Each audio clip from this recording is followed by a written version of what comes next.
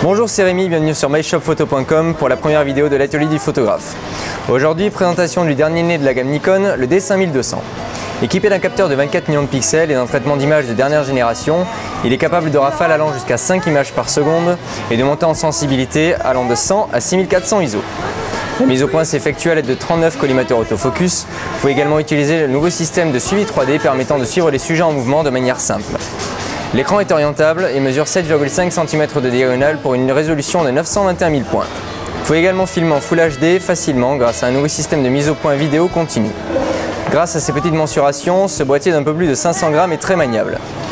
Le D5200 est également pilotable grâce à une tablette ou un smartphone sous iOS ou Android grâce à l'accessoire WU1A. Il dispose d'une sortie HDMI permettant de diffuser des images sur une télé HD et également d'une entrée jack 3,5 mm permettant de connecter un micro externe. Le D5200 est léger, compact, muni d'électronique de haut vol permettant à tous de réaliser de magnifiques photos. Merci de m'avoir suivi, c'était Rémi pour myshopphoto.com.